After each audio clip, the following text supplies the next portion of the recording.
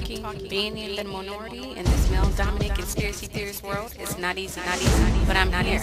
But I'm here. I'm here. I'm here. I would tell the news. I would deliver the truth. I would deliver the latest gossip. Gossip. I don't care. I don't care. No filters. No filter. I'm always telling the truth because this is this is show. Show. Show.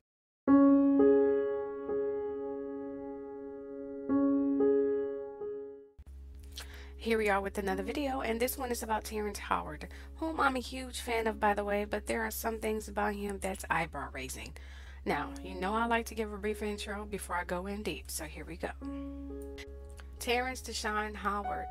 Oh, and do note this is just a quick snip. I'm not going into a whole biography about this dude, so please don't expect that. So if I miss a lot of details, just put them below for everyone else to read, okay? All right, moving forward.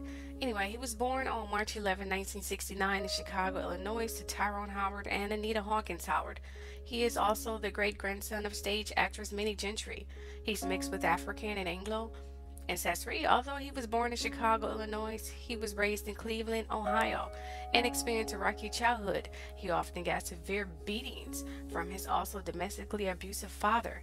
It gets deeper. He even witnessed his father at the age of two years old stabbing another man in the Santa line slaying. His father then had to spend 11 months in jail for manslaughter. Upon his father getting out, his parents got a divorce. He then moved in with his great grandmother, who died shortly after he moved in. Howard allegedly received his engineering degree in 1993, and he then claimed to have finally received his PhD in chemical engineering from South Carolina State University in 2013. He was also awarded a honorary Doctor of Humane Letters.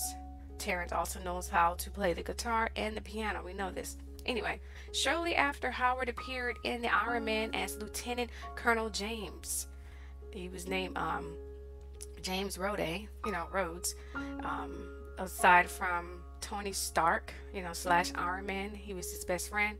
Anyway, when his career started when he portrayed Jackie Jackson in the, you know, the Jacksons: An American Dream. Y'all remember that documentary movie, whatever you want to call it? Then he had another big film break and won an Academy Award in a movie named Hustle and Flow. Then he was in the movie sequel called The Best Man and many others, and also one of the popular TV series Empire, and so on and so forth with his career. Let's move forward.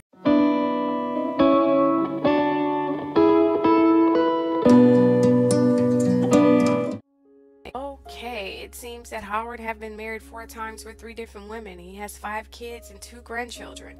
Now, it was his second wife, Michelle Gant, who got a restraining order against him in 2011 because he had apparently physically abused her. Oh, there's more. Back in 2001, he was charged with a violent attack toward his wife, including assault, terrorist threats, harassment, and stalking his wife. He was 32 years old at this time. Anyway, according to police reports, he and his wife at the time had a huge argument on the phone. Apparently, the argument was bad enough because he had then rushed to the house and then forced himself in and proceeded to chase her to the backyard and started to punch her repeatedly. He would have killed her, but his brother stepped in and broke up the fight. Oh, I'm still not done. He later got arrested for assaulting Continental Airline flight attendant and after refusing to return to his seat, even though the seatbelt sign was on. Mm-hmm. Now, back to the drama with his ex-wife, Michelle Gant, whom he used as a punching bag, people like to describe it. Yeah, he really, I think he only married the girl just to, this is sick. Let's move forward. Anyway, basically, they say he was just like his father with his temper. Then in 2011, the judge finally granted his wife training order because she had plenty physical injuries that caused her to seek medical attention. You know, she was in and out of the hospital when she was married to him. Not to mention he broke her computer and he threatened her life and so on and so forth. Oh, I'm still not done he wasn't finished assaulting her. I have to go to work. Sorry, I got to make this quick. He wasn't finished assaulting her because in 2013 she had got another restraining order because he beat her up again. I don't know why these women go back to these men. I mean, what is. Uh, moving on. Anyway, not to mention, she showed up in court with a black eye. Mm-hmm. Of course, he denied the altercation and said, oh, it was just pepper spray and that's why her eye got that way. Uh huh. But later he finally admitted by saying she was talking too real to him and he just lost his mind and slapped her in front of the kids. So he admitted this thing. Now we all know that Terrence Howard is currently in the hit TV series Empire and he plays Lucius Lyon. Well, word on the street is that they wanted to cast Wesley Snipes, but Taraji wanted Terrence Howard to be her co-star. Believe it or not, I think they both would have pretty much done a good job on that um, role. Be honest. Anyway, aside from his violent temper and shady ways, he is a good actor.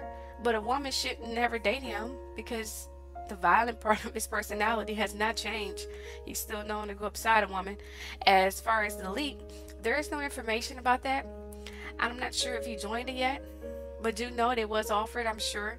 Now, tell me what you think below. If you know any information about if he joined the elite, if he sold his soul, or anything of that nature, please leave it below. Oh, and by the way, this will be the last video until after the holidays. I think I made enough videos to last you all. Also, I'm sure there's enough videos for you to fight, criticize, belittle each other, and especially me. but I still love you anyway. Have a wonderful holiday and speak to you all soon. Bye bye.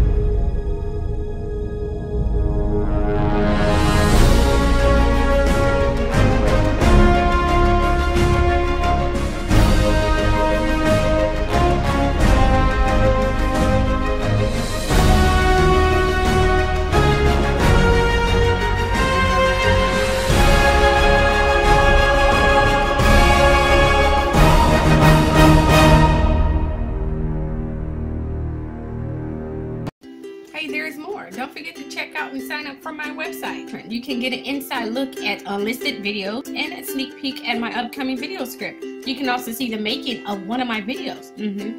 Even have a personal chat with me and much more. So become part of the Truth Show family. There is no fee, just donation. You can help me build and recruit more leaders and open more eyes. Oh, don't forget to follow me and or like me on Twitter, Facebook, and Instagram. If you want to listen while working out or driving, listen to me on SoundCloud and Spreaker. All the links are below. Hope to see you all soon. Don't miss it, ladies. Get your life.